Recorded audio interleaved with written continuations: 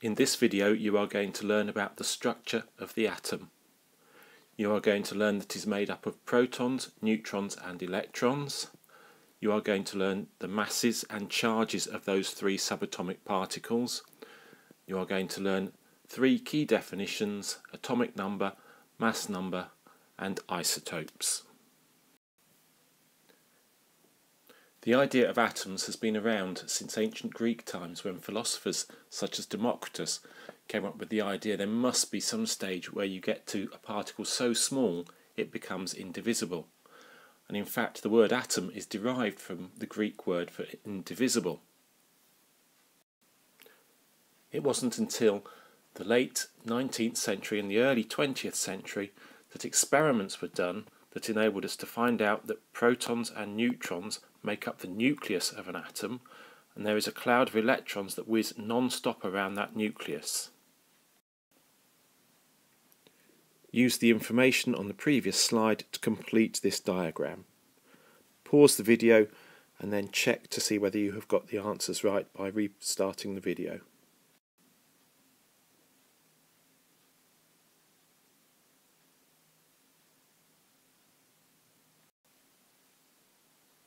Make sure that you know this simplified picture of an atom.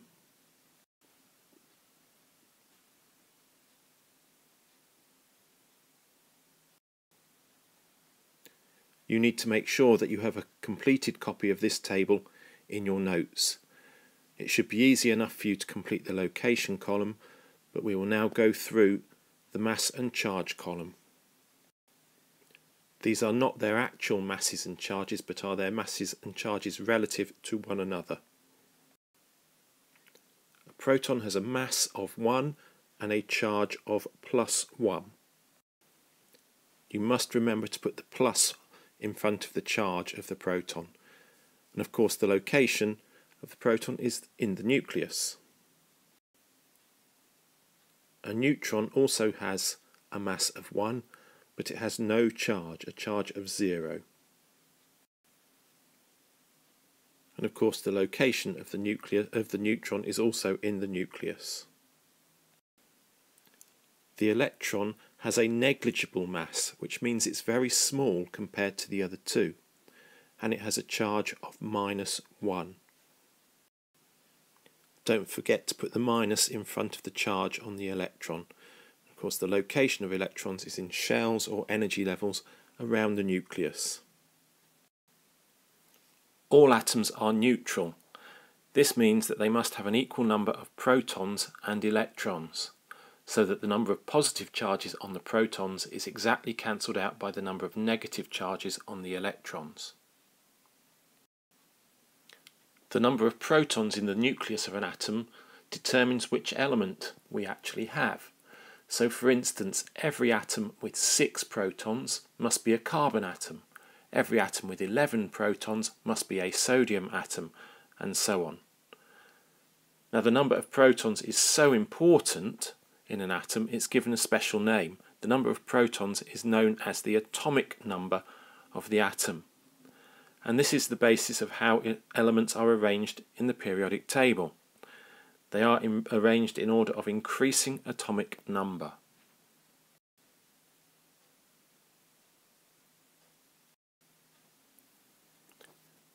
The mass of an electron is very small compared to the mass of protons and neutrons, so they basically have no impact on the overall mass of an atom. Most of the mass of an atom is due to protons and neutrons. So the mass number of an atom is defined as the number of protons plus the number of neutrons in the atom.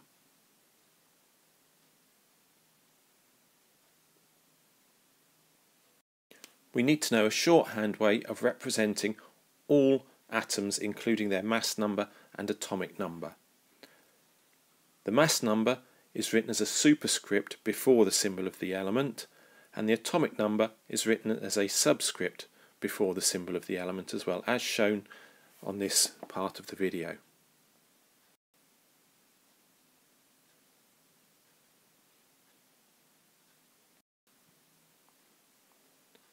So here is an example. This is read as 2311Na. 23 is the mass number of this particular sodium atom and 11 is the atomic number of sodium. From this we can deduce, first of all, because the atomic number is equal to the number of protons, that this sodium atom, and in fact all sodium atoms, has 11 protons. It also must have 11 electrons, because in a neutral atom the number of protons is equal to the number of electrons. It has 12 neutrons. The number of neutrons is found by taking the atomic number from the mass number. So 23 minus 11 equals 12 neutrons.